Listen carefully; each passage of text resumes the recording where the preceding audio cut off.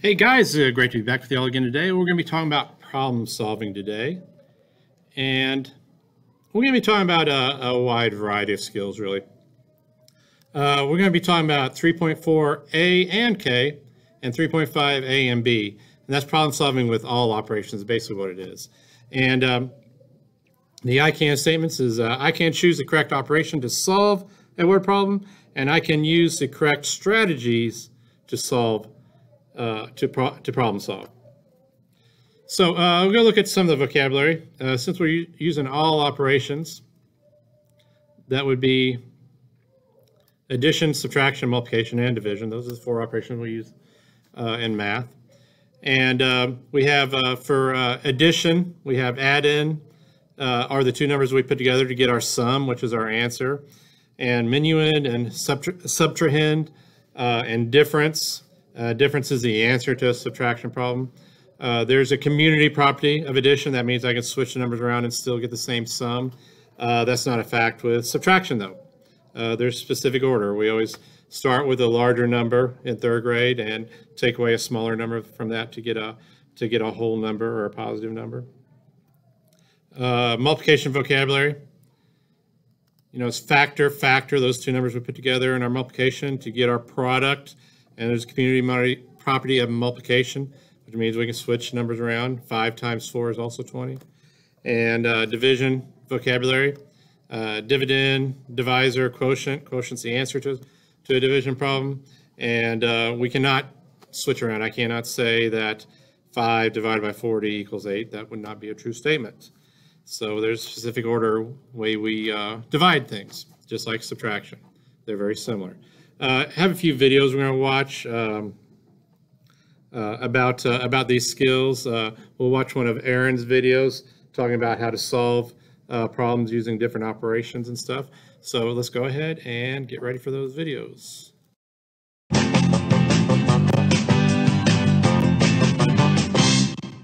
Oh no, Moby. It's our turn to make sandwiches for the soccer team.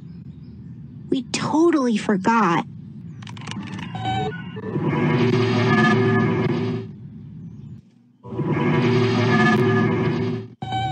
Cool. There are eight players, and each one gets a sandwich. That's eight sandwiches. Each sandwich needs two slices of bread. How many slices do we need altogether?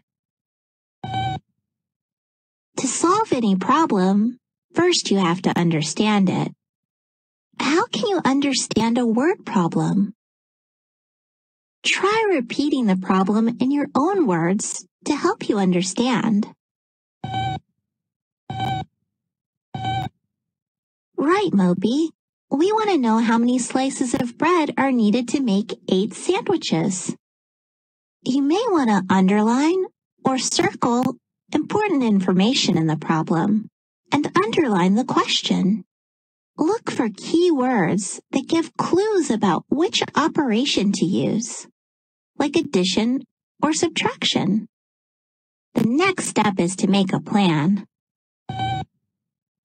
How do you plan to solve a word problem? A strategy is a plan for solving a problem or reaching a goal. You can use one strategy or a few different ones. You can draw pictures, or you can use models or counters. You can even act out the problem. You can also make a table or chart, or write a number sentence to help you solve. As long as you solve the problem correctly, you can use whatever strategy you want. Find the one that works best for you. After you plan your strategy, you try it out. I'm going to draw pictures. Let's see. There are eight players, and each gets two slices of bread. Now I count up all the slices.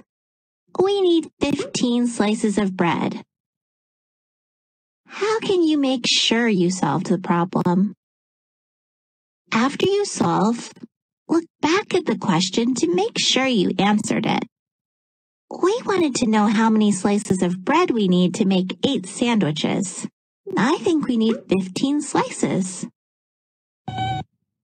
You're right, Moby. You should always check your work. Hey, I made a mistake in my drawing. That's okay, Moby. Mistakes happen. That's why you need to check over your work. We need 16 slices of bread. This loaf costs $3. I'm paying with a $5 bill. How much change should I get back? First, understand the problem. I need to know how much money I should get back. Second, make a plan to solve. I'm going to use mental math as my strategy. I have a $5 bill, which is equal to five $1 bills. The bread costs $3. That means I should get $2 back. Now I need to check my work. I can write a number sentence to check. $5 minus $3 is equal to $2. Remember, when you come across a word problem, just follow these steps. First, understand the problem. Next, make a plan to solve it. Then, solve the problem. Finally, check your work. If your plan doesn't work, that's okay. You can just make another plan to solve the problem. Moby, we better make these sandwiches. What kind did you make? Mayonnaise, raisins, and cardboard?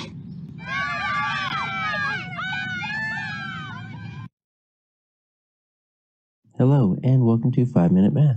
Today we are looking at the third grade concept of multi-step problems that involve multiplication and division. This is standard 3.4K in the great state of Texas, and we're using number 19 of the 2016 released STAAR test. If you have not done so already, please go ahead and take a moment to pause the video, work this problem out on your own, and then unpause it. Let's look at our answers together. So it looks like we have a garden, and I'm just going to draw a big garden over here. It's always good to draw a picture if you can. And we've got two different types of vegetables. So we have five rows of 16 carrot plants in each row. So this is going to be a multiplication problem because we've got five rows of 16 carrots each. And then they just give us the spinach plants, 72. So how many vegetable plants are there in the garden? This is not meant to be a trick because vegetable includes both the carrots and the spinach because it says up here there are two different vegetable plants. Every once in a while they'll give you a problem where you need to exclude one of the numbers because it's not a vegetable, because it's a fruit tree or something like that, but this isn't that trick. We just uh, need to add these two totals, and the problem is, is we have one total right now, 72, this other one, the carrots, that is not a total. So let's just pretend that it's about half and half. I have no idea if it is or not. So I'm just going to put my 72 spinach down here. That's an easy, I'm going to put add 72 spinach. So whatever I'm going to do, I'm going to add 72 to the end of that. First, I got to figure out how many carrots we have. So we got five rows. So I'm just going to put row, row, row, row, row. Now, I'm not going to draw 16 little lines on each one. That's going to be kind of a pain in the neck. So I'm just going to write the number 16 on each. And these are my carrots. So I'm just going to put C, C, C, C, C. So I've got options here. If I want, I can just make a huge addition problem. I can do 16 plus 16 plus 16 plus 16 plus 16 plus 72. I would get an answer.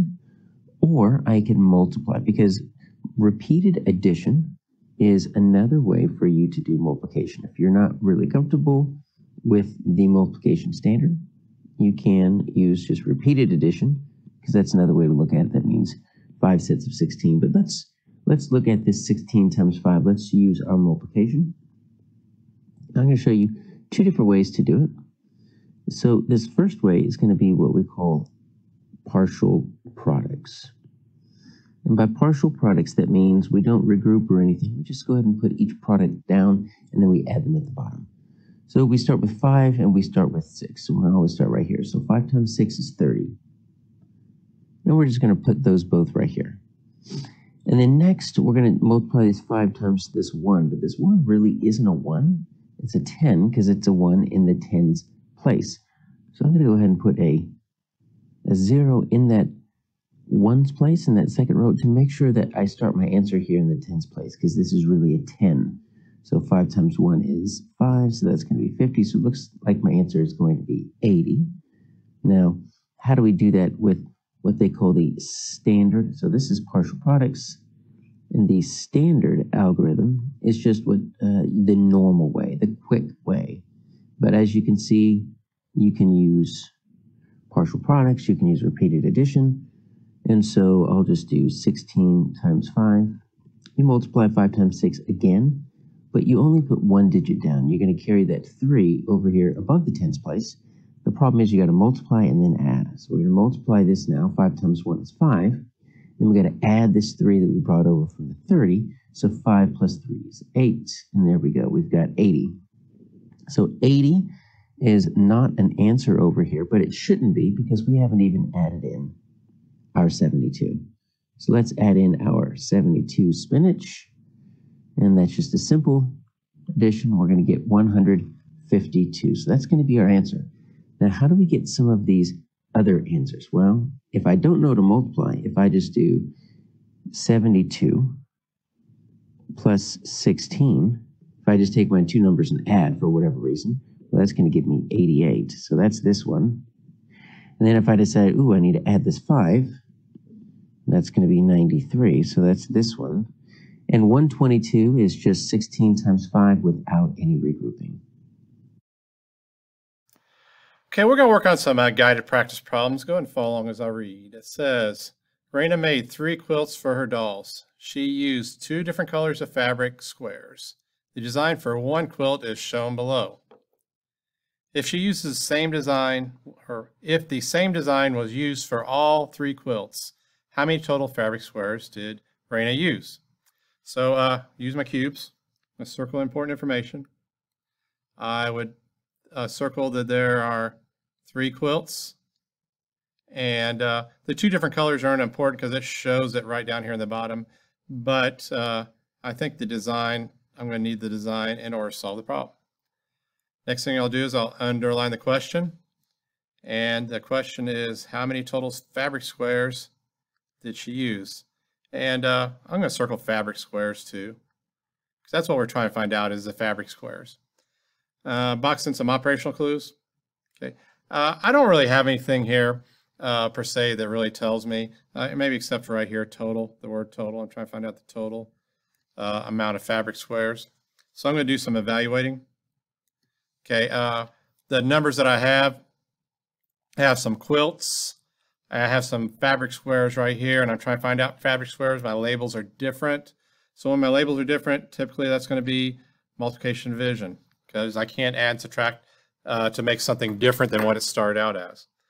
So, um, and uh, I think I also see total down here in my question. So that means I'm trying to find out the total amount of something. So it's going to be more than three, or it's going to be more than however many squares that are here. So there's two operations to make things larger. That's addition and multiplication. And I started multiplication twice. And, um, you know, if I'm using the get strategy, I'll go ahead and use a get strategy, even though I know I'm going to be multiplying. G, E, T. So I know I have three groups. That's going to be the quilts. Uh, the number that are in each group, I'm going to figure out from right here. And I'll do that really quick. So uh, how many uh, are in each group? Okay, There are 20 in each group because I could go through here and count each one individually, or I could say there's one, two, three, four rows with one, two, three, four, five in each row. Uh, and the total is what I'm trying to find out, the total number of uh, squares that are going to be in three quilts.